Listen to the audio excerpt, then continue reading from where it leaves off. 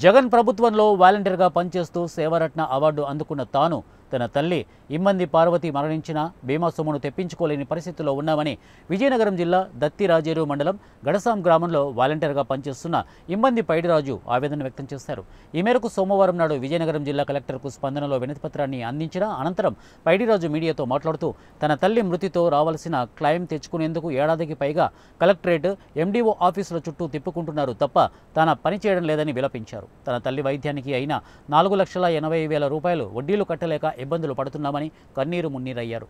తనకు జరుగుతున్న అన్యాయంపై సీఎం జగన్ స్పందించి న్యాయం చేయాలని మీడియా ముఖంగా మొరపెట్టుకుంటున్నానని తెలిపారు. తన తల్లి మరణించి పద్నాలుగు నెలలు గడిచినా ఇంతవరకు బీమా రిజిస్ట్రేషన్ కాకపోవడం బాధ కలిగిస్తోందని వాలంటీర్గా పనిచేస్తున్న తనకే ఇటువంటి పరిస్థితి ఎదురవ్వడం శోచనీయమని అన్నారు. తన తల్లి కేవలం నలభై ఏడు ఏళ్ళకే మరణించింది అని బీమా క్లెయిమ్ రిజిస్ట్రేషన్ అయినా కూడా రావాల్సిన మొత్తం రాలేదని ఆవేదన వ్యక్తం చేశారు. నా పేరు హేమంత్ పైడ్రా సార్ నాది మాది దత్తిరాజర మండలం. గడసాం గ్రామం విజయనగరం జిల్లా సార్.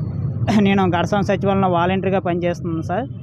మా మదర్ గారు అయినటువంటి ఏమంది పార్వతి గారు పంతొమ్మిది తారీఖు ఆరు నెలలు రెండు వేల మరణించడం జరిగింది సార్. ఆవిడ హాస్పిటల్లో తీసుకెళ్ళినప్పటికీ ప్రయోజనం లేకపోయింది. నాకు ఫైనాన్స్ డిపార్ట్మెంట్గా నాలుగు లక్షల ఎనభై వేలు అయింది సార్.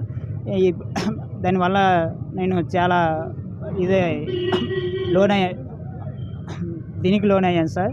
కానీ పోయిందానికి మనం ఏం చేయలేం. దేవుడు తీసుకెళ్ళిపోయిందానికి ఏం చేయలేము కాబట్టి దాన్ని ఇదయ్యింది సార్. కా దానికి బీమా కూడా ఇచ్చేసాను సార్. క్రైమ్ కూడా రిజిస్ట్రేషన్ అయింది సార్. అది మా అమ్మ ఏజ్ అప్పటికి నలభై ఏడు సంవత్సరాల రెండు మాసాలు సార్. అయినా సంవత్సరం రెండు మాసాలు అవుతుంది. ఇంతవరకు బీమా అనేది రిజిస్ట్రేషన్ కాలేదు సార్. నేను ఆ వా గడసం సచివాలయంలోని నేను వాలంటీర్గా పనిచేస్తూ జగన్ ప్రభుత్వంలో నేను శావరాత్రినికె ఎంపిక అయ్యి ఇరవై వేలు కూడా అమౌంట్ కూడా తీసుకున్నాను సార్. తీసుకున్నప్పటికి కూడా నాకు